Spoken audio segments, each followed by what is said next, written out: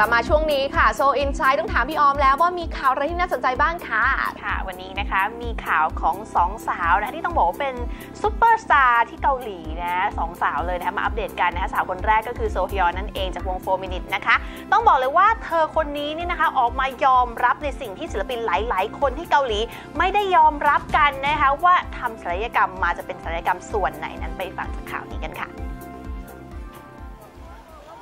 ถึงแม้ว่าที่ผ่านมาจะไม่ค่อยมีป๊อปไอดอลหรือว่าซูเปอร์สตาร์เกาหลีคนไหนออกมายอมรับว่ารูปร่างหน้าตาของตัวเองได้ผ่านการทำศัลยกรรมมาแล้วนะคะ แต่ว่าโซฮยอนสมาชิกสาวแห่ง 4 Minute ก็ไม่เห็นว่าจะเป็นเรื่องเสียหาย ซึ่งเธอเองก็ได้ยอมรับผ่านการร่วมรายการโทรทัศน์ Quiz to Change the World นะคะว่าเธอเนี่ยได้พึ่งมีดหมอในการผ่าตัดทำตาสองชั้นมาแล้วค่ะ ซึ่งโซฮยอนก็เผยความจริงเบื้องหลังความงามของเธออย่างไม่ปิดบังเลยนะคะ ว่าจริง ๆ แล้วเนี่ยในช่วงแรก ๆ ที่เดบิวต์ในวงการ ทางผู้ใหญ่ก็ได้บอกกับเธอและเพื่อนร่วมวงว่าทุกคนเนี่ยมีรูปร่างหน้าตาที่ดีดูดีอยู่แล้วนะคะ แต่ว่าพอเดบิวต์ไปได้สักระยะหนึ่งเนี่ยโซยอนก็มองว่าตาของเธอเนี่ยควรจะทำศัลยกรรมเพื่อให้ตัวเองดูดีขึ้นก็เลยไปขอคำแนะนำของผู้เชี่ยวชาญด้านความงามก่อนที่จะทำศัลยกรรมตาสองชั้นในที่สุดค่ะ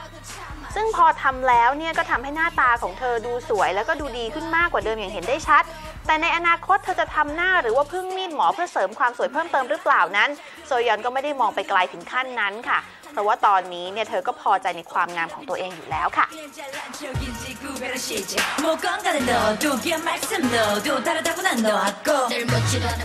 แต่จริงๆ ถ้าเกิดสมมติทำแล้วสวยขึ้นเสริมความมั่นใจของตัวเองไม่ใช่เรื่องผิดนะคะ แต่ว่าในเรื่องของการตัดสินใจจะทำกับใครนั้นต้องศึกษาข้อมูลให้ดีๆนะคะ